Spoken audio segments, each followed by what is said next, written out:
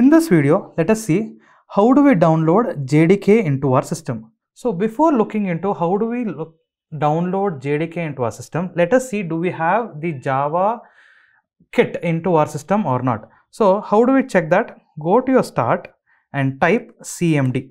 In your command prompt, you need to type it is java hyphen version. So here you're able to see that Java is not recognized as an internal or an external command, which means there is no JDK available into our system. So now let us see how do we download JDK into our system. So you can pick up any one of your favorite browsers and type JDK download. So the first link that you see here, the Java downloads. So here you just click on this link, it will redirect you to a new page. So let us see to download the Java JDK 17 to our system. Now I am using an operating system which is of Windows. So I'll click on JDK 17 and here I'm using an operating system of Windows. I'll go to Windows here. So in Windows, I'll be downloading the installer for JDK. So where's the link? You just need to click on this download link here. So it will take some time. You're able to see the installer is downloaded. So let us go to the file now. So here you're able to see in my downloads, I have my installer ready. You just need to click on it to start installing. So it will just ask you a few permissions. You just need to click on yes.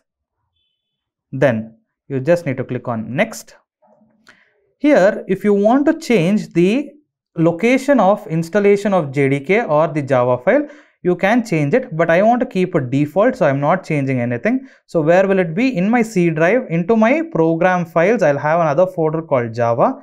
Inside Java, I have a JDK 17. So that will be my location for my file which gets downloaded. So click on next. So let us see how it gets downloaded. So once this is done, you just need to click on close. So let us check whether it has got installed into our system or not. So let's go to C drive. Let me go to my computer. In my C drive, if you remember the location, it is into my program files. Here I have my folder called Java. Yes, I have JDK 17.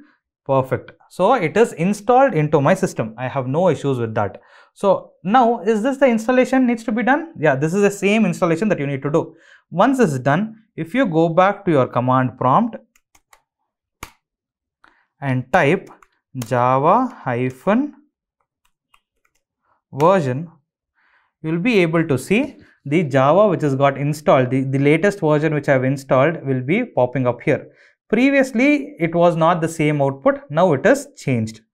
Now, let us do a small configuration for our environment variable. In, in some systems, it might not be compatible. To get the compatibility of Java into your, the Java into your system, so we will do a small change. So, let me go here, go to the environment variable, here in my environment variable.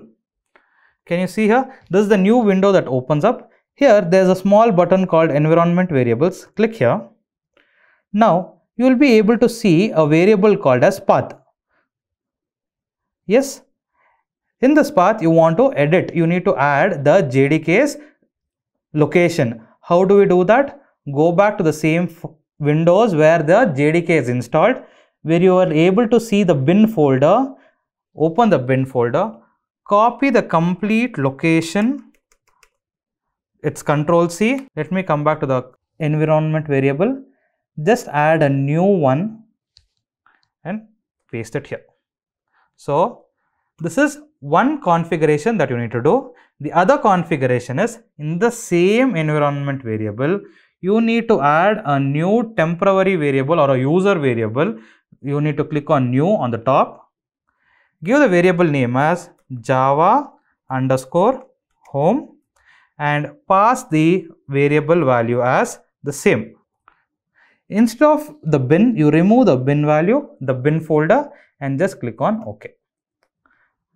Once this is done, close everything, go back to your windows Again, go to your command prompt and type java hyphen version. So you should get you should be getting the same output. So this is the configuration for installing JDK into your system.